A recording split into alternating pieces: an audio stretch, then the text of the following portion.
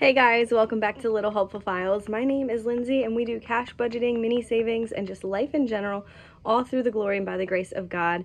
I just have a quick message to come on and share with you guys, asking a little bit for, you know, prayers and support. So let me go ahead and just explain what I'm talking about. Oftentimes, you know, in life, when we are going through something really difficult, really trying, it's really hard to remember that God is still good, no matter what the outcome of that situation or circumstances. And I know when we were dealing with everything with our daughter, uh, it was one thing that I kept reminding myself that even if things didn't go the way that I was hoping, even if the outcome was not um, one that was positive, God was still going to be good. God is still going to take the situation and make something good out of it. And I see this a lot. You know, there's people that go through these amazing, like, financial um, miracles that happen or blessings that come through, and that's wonderful. But we oftentimes, you know, have situations where we have to do the hard things.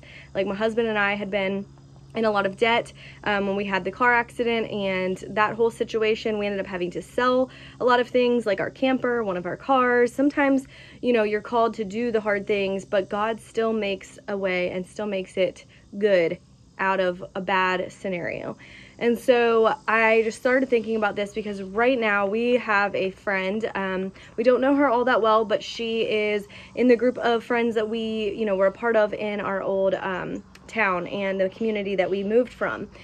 She's been battling cancer for over a year now, and she has four little kids that she has been loving and homeschooling and caring for. And um, I just, we've been praying for her and her family and her husband and all of them her and her husband and her family are so strong in their faith and have just continued to set such a beautiful example of how to endure something like this, how to go through something that is absolutely devastating. Um, and, you know, with her recent diagnosis, it's basically at the end of the road. Like nobody can do anything. The doctors can't do anything. If anything were to change or happen, it would only be by the grace of God and his miracle. And again, that's where the reminder of but even if not, God is still good.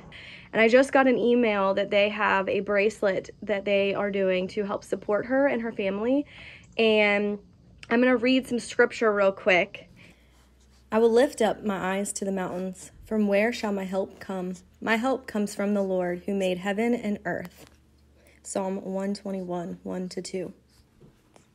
If it be so, our God, whom we serve, is able to deliver us from the furnace of blazing fire, and he will deliver us out of your hand, O king. But even if he does not, let it be known to you, O king, that we are not going to serve your gods or worship the golden image that you have set up.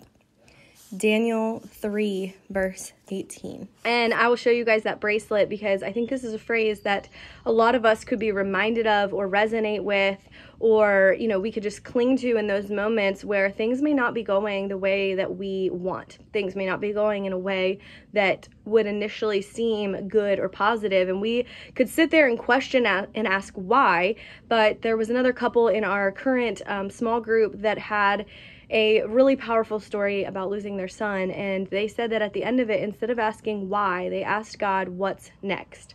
And I think that is beautiful and it's something that is like really hard for us all to truly do and remember. But if we can start asking what's next, I think, um, you know, that is a better way to position it and to prepare us for whatever God has in store for that situation and whatever He's going to do in it. Thank you guys for watching, tuning in. And like I said, if you feel um, called to support and just purchase the bracelet, I know proceeds are going to be going towards her and her family. I don't get anything from this, guys. This is just something that I felt very, you know, drawn to like come on and share with you guys. And um, I know the power of prayer, so we can always use more prayer warriors. I know that a lot of people are praying for her and her family, praying for her to be able to recover.